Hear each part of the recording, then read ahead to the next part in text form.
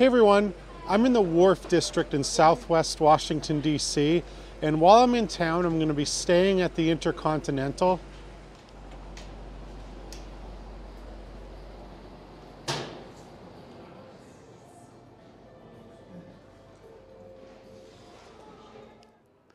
Now let's check out my room at the Intercontinental DC Wharf.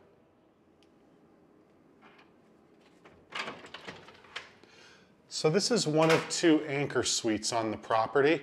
It's 1,300 square feet. That's a closet. This is a bathroom. And check it out. This is the dinner table.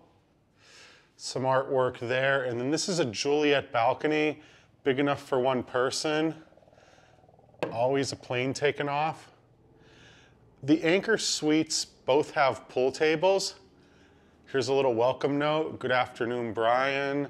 Nespresso machine, which is always convenient, and a really powerful Bose Bluetooth speaker. Here's what I see when I work. I see planes take off, rather land at Reagan National Airport. So this is the living room. Now we're gonna check out the bedroom. Great view. You can control the blinds bedside. And here's a bathtub and a walk-in shower.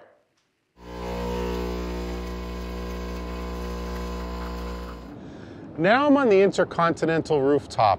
There's a plane about to land at Ronald Reagan National Airport across the Potomac River in Arlington, Virginia. But from March to October, this is a very lively rooftop. There's a bar, there's a swimming pool, from the rooftop here, you can see landmarks like the Washington Monument, the Lincoln Memorial, Jefferson Memorial, that's the Rosslyn skyline off in the distance. And then as we go over across the Potomac, this is a yacht club right down here. That's the skyline of Crystal City or Pentagon City. Now we're gonna check out the spa and the hotel gym. So this is the spa at the wharf right here. Opens up at 11 o'clock. And then down on the left, this is the hotel gym.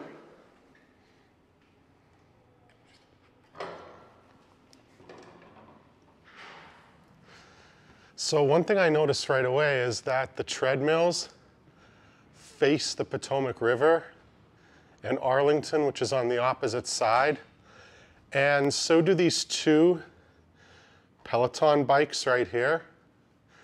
And then while you're exercising, you can watch the Washington, D.C. flag, the American flag. And my favorite, you could watch jets like this Southwest one right here land into Ronald Reagan National Airport, which is in Arlington, right across the river.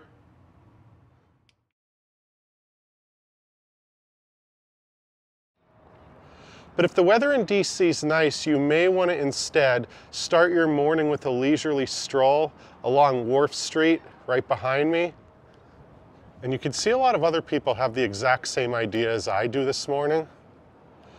Now, because we're along the waterfront, this area does feel kind of touristy, but I love some of the little things here, like the cows that are outside the Ben and Jerry's.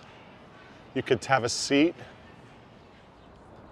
and this is Recreation Pier.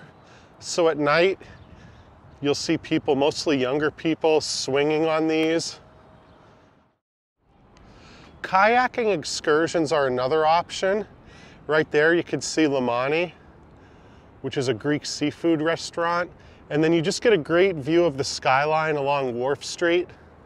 And right there is the Intercontinental. Now that's the Wharf Torch at the end of Recreation Pier. The reason you see black on it is because after the sun sets, this lights up and this becomes a little bit of a gathering point for people in the evening. And the lack of car traffic can really make you feel like you're on vacation on the wharf, even if you're not.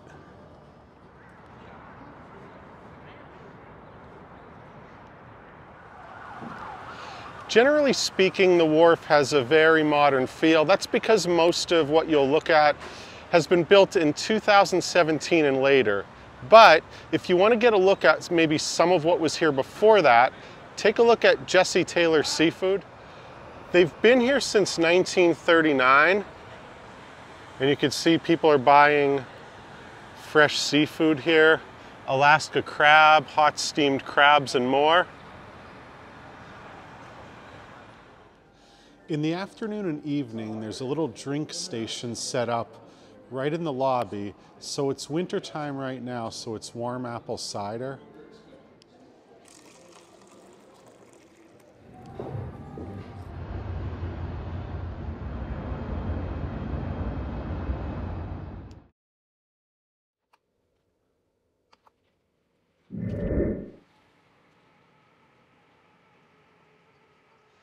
Dockside is the hotel restaurant at the Intercontinental.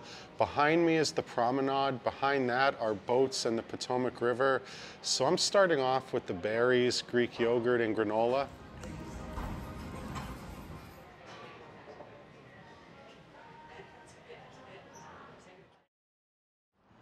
Thank you very much for watching. If you like this video, please subscribe. I got more trips coming up soon. I'm gonna be heading out to Indiana flying into Indianapolis next weekend. Also got New Haven, Connecticut, a little road trip coming up, and then I'm also going to be heading out to Reno, Nevada, and I look forward to sharing more videos with you soon.